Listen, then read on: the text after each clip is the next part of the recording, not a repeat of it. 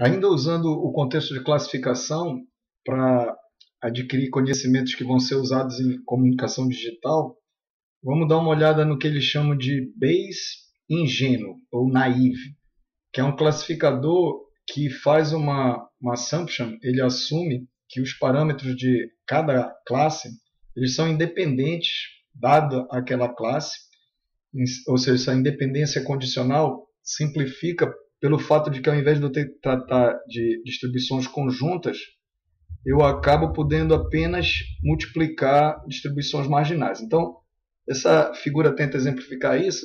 Suponha que você tenha dois parâmetros, x e y, e eles são, na verdade, eles são correlacionados, eles não são independentes. E, e aqui está representado, por exemplo, o que seria essa distribuição conjunta.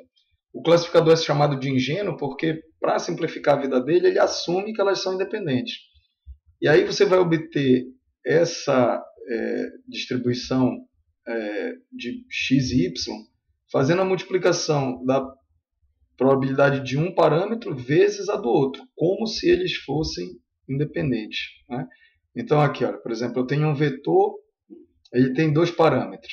Né? Então ele deveria ser descrito como uma distribuição conjunta. Só que isso vai complicar, porque é, a estimativa fica mais difícil, é, eu preciso de mais dados, o custo computacional fica maior. Então, o que, que esse classificador assume? Como eu preciso das likelihoods, ou seja, dado a classe né, das distribuições, eu vou simplificar dizendo que eu assumo uma independência condicional e eu pego uma variável é, x, e aí eu tenho uma distribuição unidimensional e multiplico por outra unidimensional. Então isso vai, esse conceito vai aparecer também quando a gente está quando a gente está lidando com é, a gente está lidando com, com, por exemplo, símbolos transmitidos em um canal que não tem memória e eu posso assumir que na saída esses símbolos são independentes. Então, esse tipo de, de conceito né, aparece aqui nessa forma de um classificador de Bayes ingênuo.